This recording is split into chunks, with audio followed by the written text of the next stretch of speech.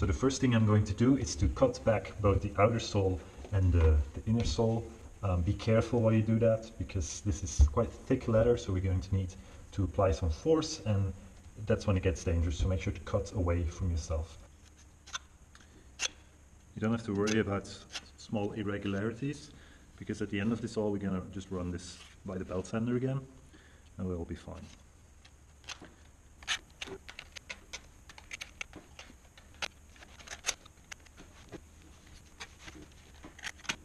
I have trimmed down the excess um, material on our sole so that it's sort of equally all around the shoe.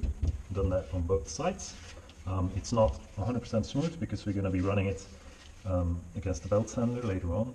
Uh, if you don't have a belt sander then you can use some sanding paper to sort of smooth out the edges but you can also do that later after we put on the um, rubber.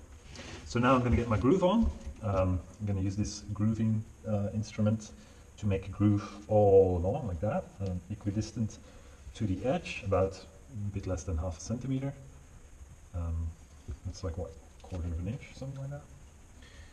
Um, and then once the groove is made, we're going to be sewing um, both of them together all along this groove. So on the outside of the shoe here, and then here. And the idea is that this, by, by laying the thread in the groove, it will be protected, like if we take steps and, you know, um, the thread won't be exposed here and so it won't break with the when we wear down. Here it will be less of an issue because it will be covered, um, but by laying it in the groove it will be not a bump that our glue has to sort of um, work around, so it will be in the leather and this will stick better. So, next up, making a groove.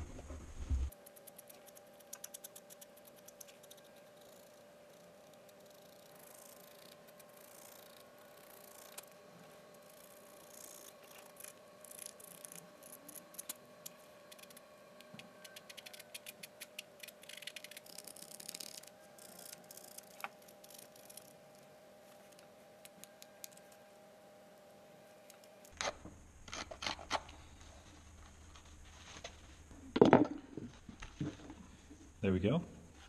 You can see it best here because of the different texture, but we have this ridge that goes all the way around our shoe where our stitches will lie in.